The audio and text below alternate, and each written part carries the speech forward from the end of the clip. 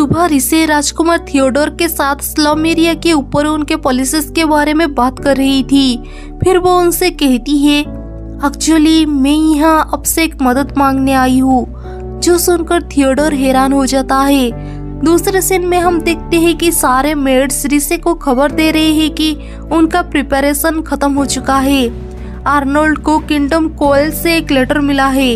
वो इस लेटर को ओपन करके पढ़ रहा था। तभी रिसे आकर उसे कहती है, राजकुमार आर्नोल्ड मेड्स ने बड़ी मेहनत से आपके लिए एक भिला बनाया है।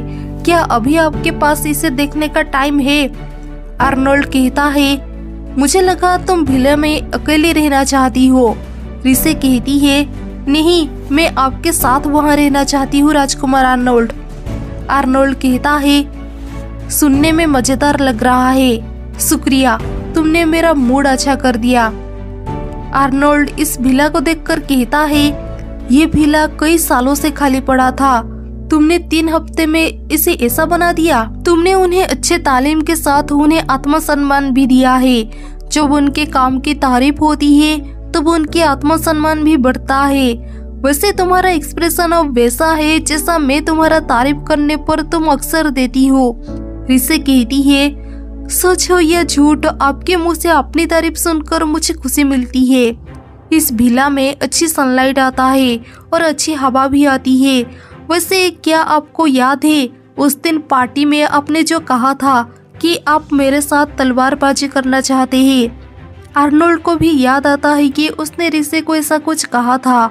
रिसे कहती है, क्या आप मुझे आपके स्पेशल ट्रेनिंग मेथड सिखाएँगे जो आप और इम्परल नाइट्स यूज़ करते हैं, मैं जब से यहाँ आई हूँ, तब से आप सबके ट्रेनिंग को देखते आ रही हूँ।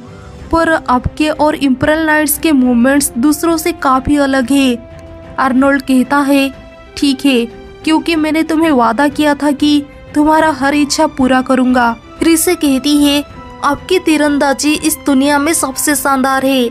आर्नोल्ड कहता है, एक कला जो सिर्फ़ लोगों की जान लेने के लिए बना है वो कभी भी शानदार नहीं हो सकता। मैं ग्राउंड में तुम्हारा इंतज़ार करूँगा।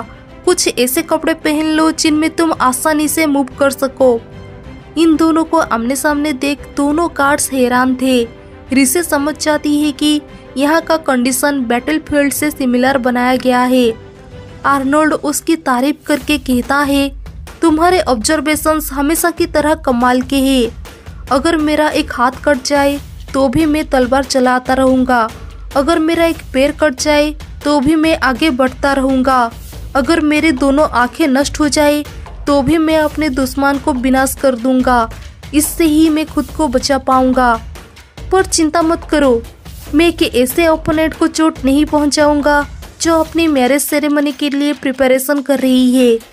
रिसे उसके सामने दो शर्त रखते हुए कहती है, ठीक है तो अगर मैं जीतती हूँ तो आपको मुझे एक सवाल का जवाब देना ही होगा, चाहे वो सवाल कैसा भी हो।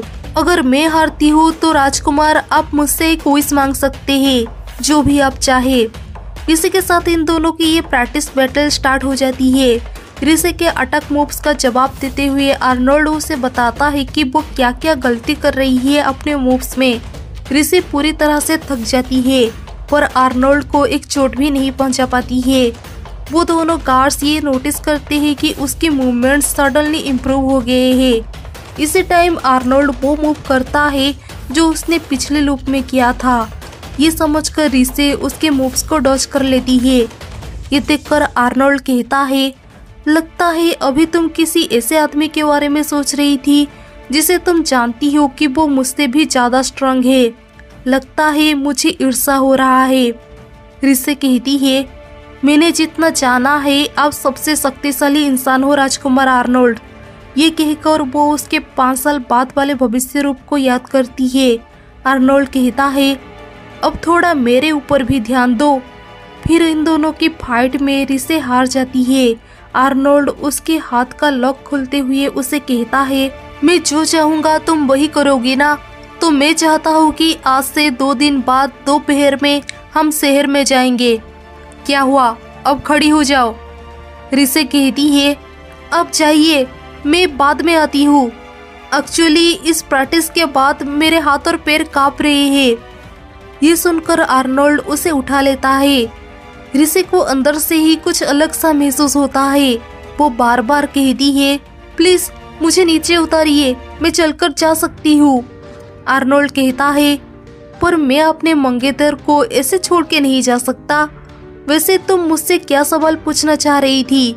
अगर तुम जीतती तो? ऋषि पूछती है। मैं पूछना चाह रही थी कि आपका बर्थडे कब है?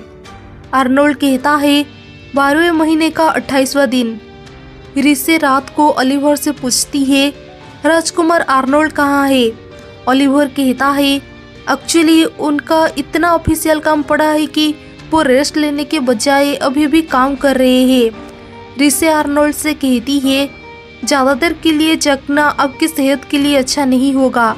आर्नोल्ड कहता है, वैसे भी मैं नहीं सो सकता। ऋषि कहती है तो मैं आपको सुलाऊँगी। रात को वो उसे भीले में ले आती है और कहती है, मैं आपके पास हूँ तो चिंता की कोई बात नहीं है, अब सो जाइए। आर्नोल्ड को फिर भी नींद नहीं आ रही थी तो रिसे उसके पास बैठकर उसे थपथपाने लगती है। ताकि उसे नींद आ जाए। वो ऐसा अपने पिछले लुक में अपने मालकिन के लिए करती थी, जब वो एक मेड थी। अचानक उसकी नज़र आर्नोल्ड के चोट के निशान पर जाती है और वो क्यूरियस होकर उसे टच करती है।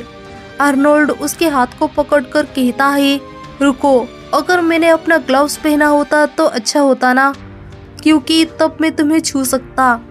बस मज़ाक कर रहा हूँ। ये सुनकर इसे को लगता है कि आर्नोल्ड उसे टच करना चाहता है तो वो कहती है, आगे बढ़िए, अगर आपको इससे अच्छा लगता है तो। आर्नोल्ड उसके मुँह पे तकिया मारकर कहता है, तुम अजीब हो, मेरे पास सोने से पहले भी तुमने कुछ नहीं सोचा। मुझे नींद आने तक मेरे पास ही रहो, ये खाली रूम से ज़्यादा सुकून देता है। सुबह रिसे देखती है कि आर्नोल्ड पहले से ही उठ के उसे ही देख रहा है। क्योंकि वो भी यहाँ उसके पास सो गई थी। ओलिवर आकर आर्नोल्ड से बात करता है, इधर रिसे एक वीक लेती है, फिर वो भेस बदल कर नाइट्स के ट्रेनिंग में शामिल हो जाती है। इसी के साथ सेवन टाइम लुक का ये वाला एपिसोड यहीं पर खत्म हुआ। मैं मिलूँगी आपसे अगले वीडियो में। सायोनारा।